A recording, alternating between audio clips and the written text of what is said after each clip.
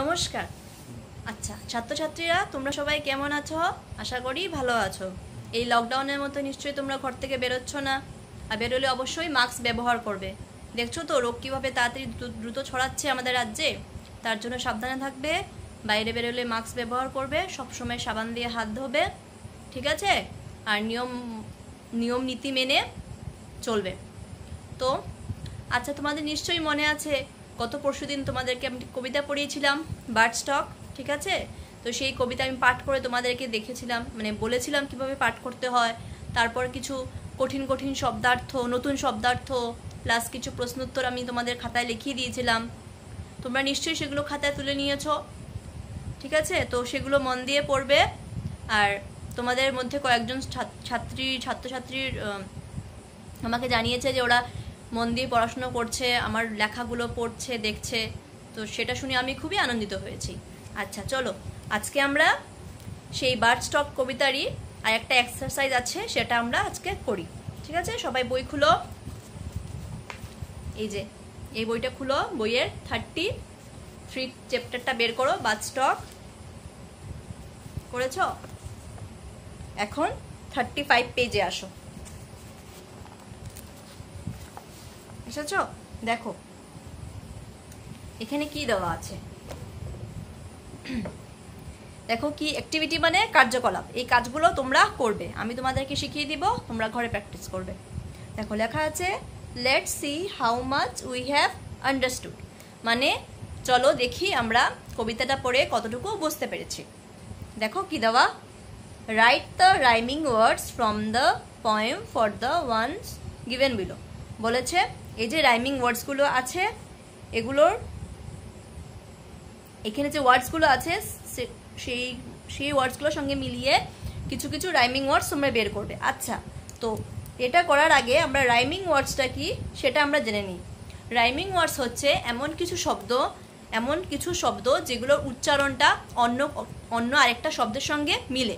শব্দর বানানটা আলাদা হতে পারে, কিন্তু উচ্চারণটা সেম যেমন look L double K look T double K took দুটো বানান আলাদা তো?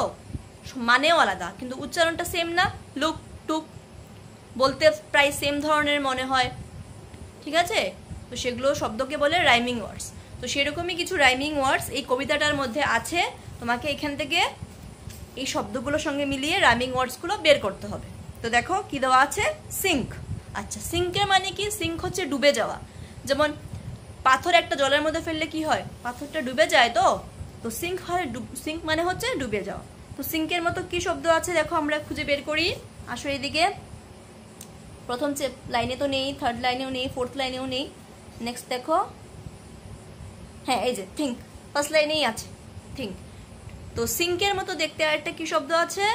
থিঙ্ক থিঙ্ক মানে চিন্তা করা। সেদিন তোমাদের বলে দিয়েছিলাম আমি। তো সিঙ্কের সঙ্গে মিলে কি ওয়ার্ড হয়ে গেল? থিঙ্ক সেম সেম লাগছে না শুনতে? তো যেই শব্দগুলো উচ্চারণটা সেম সেম লাগে শুনতে, সেগুলোকে রাইমিং ওয়ার্ডস বলে। নেক্সট দেখো কি আছে? ক্রো ক্রো মানে কি? কাক। দেখো ক্রোর মতো কি শব্দ আছে এখানে? এই দেখো ক্রোর মতো আরেকটা শব্দ হচ্ছে গ্রো গ্রো মানে বড় হওয়া, যেটা তোমাদের বলে দিয়েছিলাম সেদিন আমি। তো গ্রো হচ্ছে কাক গ্রো হচ্ছে বড় হওয়া বাট এই দুটো শব্দ ক্রো ক্রো আর গ্রো শুনতে তো সেম ধরনের, তার জন্য এগুলোকে রাইমিং ওয়ার্ডস বলে। নেক্সট দেখো কি আছে? সুইং সুইং হচ্ছে দুলা। যেমন তোমরা দোলনা বানিয়ে দুলো না, দুটো গাছের মাঝখানে রশি দিয়ে দোলনা বানিয়ে দুলতে থাকো, এগুলোকে বলে দোলা সুইং তো সুইং সুইং এর মতো কি শব্দ আছে দেখো? সুইং এর মধ্যে এখানে শব্দ আছে উইং উইং হচ্ছে ডানা বা পাখনা, যেমন পাখির পাখনা বা ডানা থাকে। তো শব্দ দুটো শুনতে সেম তো, তার জন্য এটা হচ্ছে rhyming words swing wing same same লাগছে না শুনতে উচ্চারণটা। নেক্সট দেখো হানি হানি হচ্ছে মধু। ঠিক আছে? যে মৌমাছি কি খায়? মৌমাছি ফুলের মধু খায়। তো হানি হচ্ছে মধু। তো হানির মতো কি শব্দ আছে দেখো নিচে? একদম লাস্ট লাইনে দেখো। আছে? লাস্টে তিন নম্বর লাইন ফানি ফানি হচ্ছে মজাদার। তো হানি আর ফানি শুনতে সেম সেম লাগছে না? তো যে শব্দগুলো, উচ্চারণগুলো শুনতে সেম ধরনের মনে হয়, সেগুলোকে রাইমিং ওয়ার্ডস বলে। তো আজকে আমরা কি নতুন একটা জিনিস শিখলাম? সেটা হচ্ছে রাইমিং ওয়ার্ডস ঠিক আছে? তো কিছু রাইমিং ওয়ার্ডস আমরা প্র্যাকটিস করলাম।